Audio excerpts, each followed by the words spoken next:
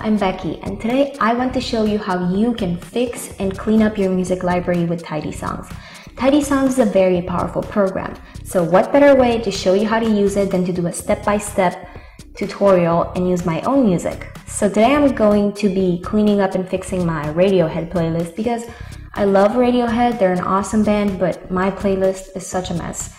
Just, you know, just by looking at it, I can already see the missing album art, misspellings, and this is my fault because I have downloaded music and then not made sure that everything was correctly spelled and well organized. But that doesn't matter anymore because today I'm going to use TidySongs and fix everything up. Now, my first project is this song, Airbag. And you can see the artist name has been misspelled. The album information is correct, but it has no associated album art. And that's a shame because Radiohead cover art is beautiful. So I'm going to use TidySongs to fix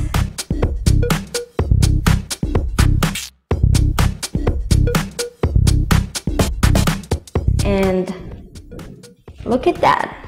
The band name is now spelled correctly, the genre information has been changed, and the album art has been added.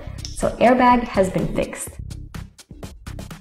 Now, just by looking at this playlist, I can already spot a few duplicate songs. And again, this is my fault for loving a song too much, I guess. So I know my Radiohead playlist is teeming with song duplicates, but I just, I never get around to actually tracking each of them down and erasing each manually. And now I don't have to do that because TidySongs will scan my entire music library based on my criteria and now I can erase all of those duplicate songs automatically. And look at all those duplicates. I didn't even know about Justin Timberlake. When did that happen?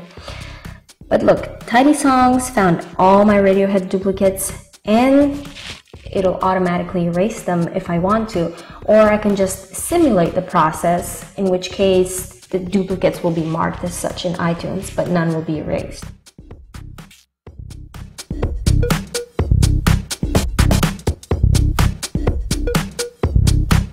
Now onto album art. As I previously said, Radiohead's album art is just fantastic. And it would be such a shame not to have it, you know, in my music library or on my iPod. So now I'm going to use Tidy Song's special album art feature, which finds all missing cover art. And just look at that. Look how it's transforming my boring music library into something that's so great to look at.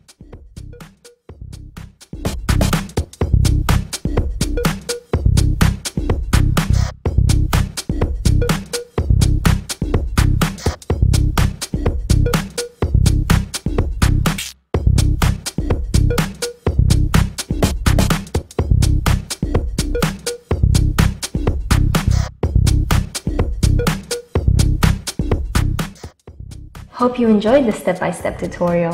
Feel free to email me with any questions.